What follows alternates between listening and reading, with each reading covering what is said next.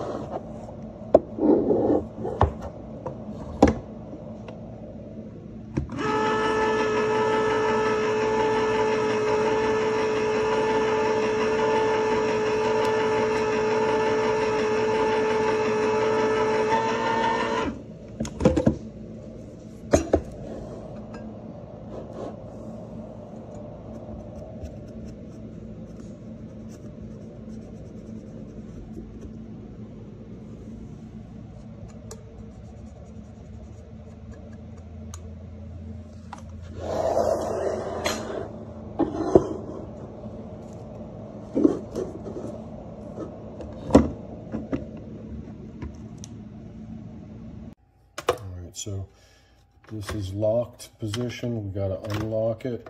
And just put the can up here, lock it down, and then we're just going to push it.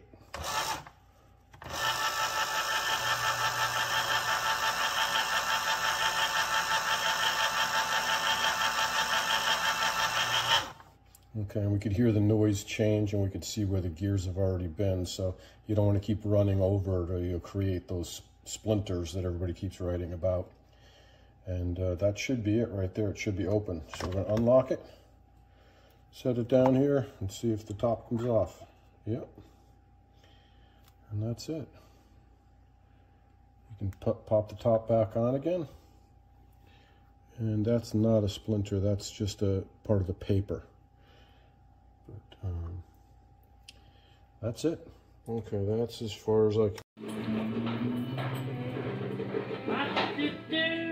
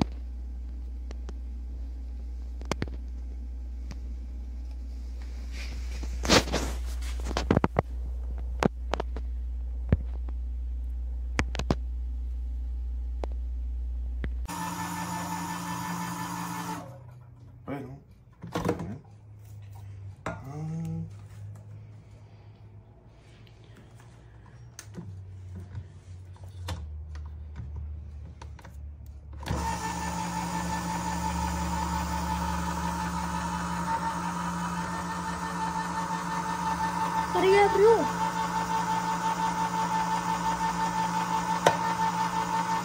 Una vez que lo abro, sí. A ver. Oh, sí, mire. Where is it? Oh, yeah. Okay. Let me get a good picture. That's terrible. Is there any more? No, there was, but I pulled it off. That's all right. That's enough. Now let's show them Chef RD. Watch it out.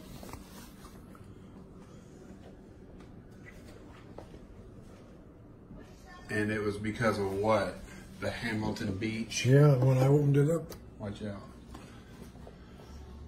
Hamilton Beach, supposed to be. Okay, I'm going to show you how this can opener works. You just simply slide it in and let it run. You can kind of see the perforation going on the edge of the rim. Okay, so it's done. So you release it by lifting up and you just lift the lid off just like that. So if you I want to strain, you can just hold it like that over the sink or wherever you want to strain the liquid into. Uh,